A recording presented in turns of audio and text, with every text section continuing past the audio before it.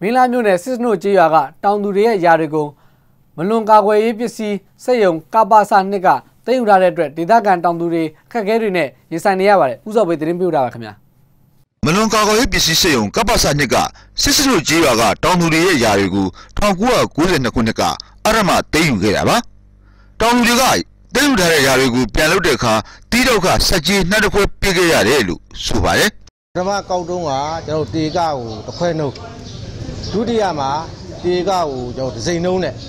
တို့တို့ကောက်ပါတယ်ကျွန်တော်တို့စစ်စနုကြီးရွာကတောင်သူဥယျာအားဖြင့်တော့40လောက်ပါမယ်ဧကအားဖြင့်တော့ကျွန်တော်တို့ဟို300နီးပါးလောက်ပေါ့အဲ့တော့လေမြေယာမြေအကုန်လုံးပေါ့အဲအဲ့ဒါကိုကျွန်တော်တို့မှာအခု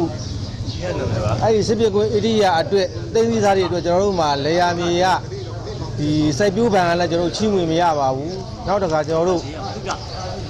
နေရာမြေပုံစံခွန်လည်းကျွန်တော်တို့ရက်ခွင့်မရှိပါဘူးကျွန်တော်တို့မှာဒေသခံတောင်သူတွေကစစ်ပစ်ကွင်းနဲ့လွတ်တဲ့မြေနေရာကိုတပ်ပိုင်မြေဖြစ်ဆွန့်လွတ်ပေးဖို့လူလားနေကြပြီးရာပန်ဆိုင်ခွင့်ပုံစံခွန်ရယူနေကြကြတာလည်းဖြစ်ပါတယ်ကျွန်တော်တို့ရဲ့မြေယာအသုံးချမှုလုပ်ငန်းတွေကျေးရွာဖွံ့ဖြိုးရေးလုပ်ငန်းတွေဒီစက်ပြေဝင်ဖြစ်နေတဲ့အတွက်ကျွန်တော်တို့ရွာမှာဖွံ့ဖြိုးတိုးတက်မှုတွေအဟန့်အတားလေးတွေဖြစ်နေပါတယ်တပ်ပိုင်မြေအဖြစ်ကနေပြီးတော့ဆွတ်လွတ်ပေးမယ်ဆိုလို့ရှိရင်တော့ကျွန်တော်တို့နေသူနေသားတွေအတိုင်းနဲ့လွန်အားလုံးလဲ